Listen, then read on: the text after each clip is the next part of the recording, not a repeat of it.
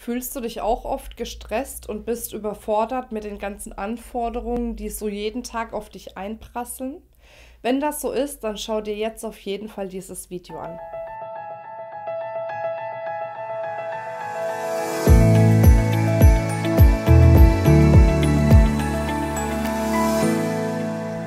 Heißt so schön? Wir Frauen, wir haben nicht nur die Aufgabe, vielleicht uns um den Haushalt zu kümmern, einkaufen zu gehen, zu kochen, zu putzen, sondern wir wollen natürlich parallel noch eine fantastische Ehefrau sein, eine fantastische Mutter sein, eine fantastische Businessfrau sein, je nachdem, an welcher Ebene du gerade stehst. Und das überfordert natürlich.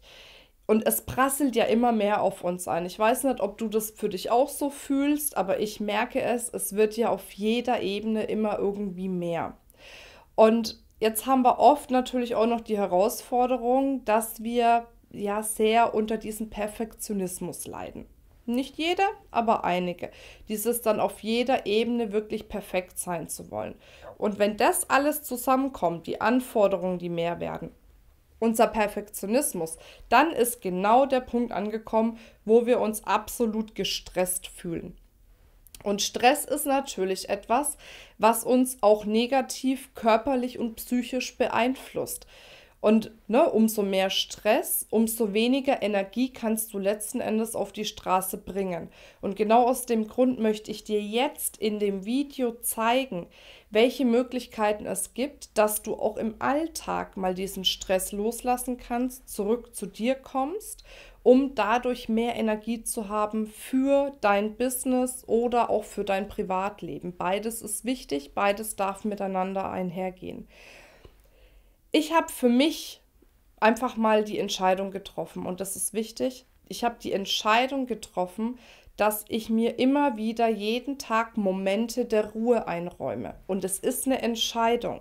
Es ist nichts, wo du sagst, da kann ich jetzt an mir irgendwie mit meiner Persönlichkeit noch mehr arbeiten oder da kann ich vielleicht jetzt irgendwie einen Kurs besuchen. Nee, meiner Meinung nach fängt es da wirklich bei der Entscheidung an, dass du eine Entscheidung dafür triffst, dir jeden Tag Zeit für dich selbst zu nehmen und Zeit der Entspannung zu nehmen, auch wenn es wirklich stressig ist.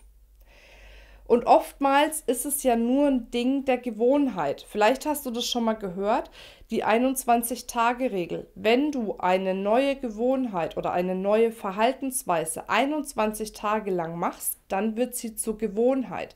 Und so ist es auch, wenn du dir 21 Tage lang immer wieder am Tag mal kurze Auszeiten nimmst um Stress abzubauen. Wenn du es 21 Tage lang gemacht hast, wird es zur Gewohnheit und du kannst es bei dir absolut in den Alltag integrieren, ohne dass du es vergisst.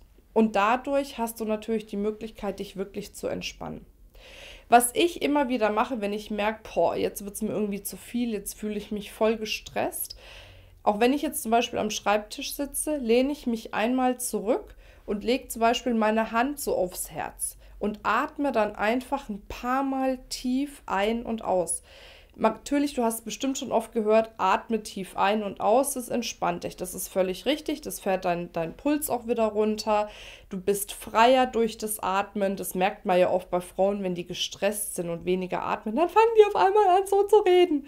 Ne, dann wird die Stimme höher und du merkst, es ballt sich alles hier so in dem Zentrum und das ist natürlich kein guter Energiefluss. Aber was doch dazu kommt, ist wirklich, dass du ganz gezielt deine Hand so aufs Herz legst und dann wirklich so in dein Herz reinatmest. Weil oftmals durch diesen ganzen Stress und diese ganzen Anforderungen, die wir haben, fehlt uns die Verbindung zu unserem Herz. Und das ist einfach wichtig, weil dadurch können wir unsere Intuition schärfen und unser Gefühl zu uns selbst schärfen. Und wenn du das wirklich regelmäßig mach's vielleicht einmal die Stunde für eine Minute oder so. Also ganz kurz, es muss ja jetzt nicht ewig sein. Wenn du, wenn du wirklich so einen richtig stressigen Tag hast, eine, eine Minute, einmal die Stunde, das reicht schon.